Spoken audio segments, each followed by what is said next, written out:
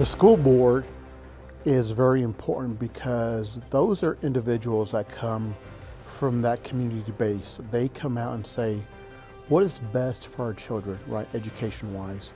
Uh, what is best for the school district moving forward? There's a sense of community, especially in Lubbock, where you take pride in your neighborhood and what's around you. And just as important as a business might be to a local neighborhood, I think schools are also a staple of a community. We choose to support Lubbock ISD because we're part of Lubbock. We want to help our community, our kids, and especially our bus kids, we really need help. But there's a lot of children out there doing without, and we want to help them.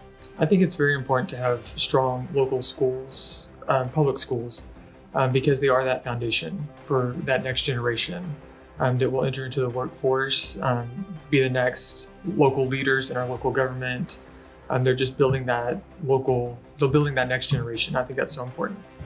School board and the school district always reflects the character of the community and that's why it's important to elect parents and stakeholders from the community to the school board and you know what local control they have they can exercise that as elected officials somebody who's representing and serving on the board is also someone who you might be connected with uh, in your community whether that's they're a regular customer at your business or they serve you know or they bank with your business I've learned that the Lubbock community is all about service and it's obvious that these are individuals that uh, love Lubbock and uh, want to uh, do the best possible for Lubbock.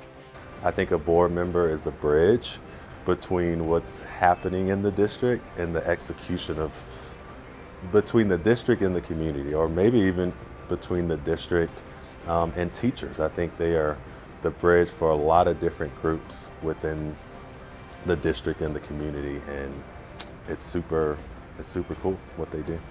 Lubbock really is kind of um, this this drawing melting pot of, of different communities and so it's important to have locally elected officials and locally elected folks serving on our school board. Community connected super important obviously being a locally owned company we believe in those community connections and so we're excited to support what you guys are doing.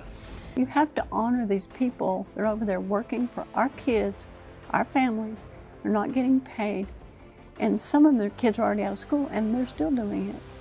So to the Lubbock ISD School Board, first let me say thank you so much for what you do. Thank you for your representation and thank you each and every day for doing the best for the youth and the children of Lubbock ISD. Thank you to all of the Lubbock ISD Board of Trustees we appreciate the way that you serve our district, our community, teachers and students. Um, happy School Board Appreciation Month.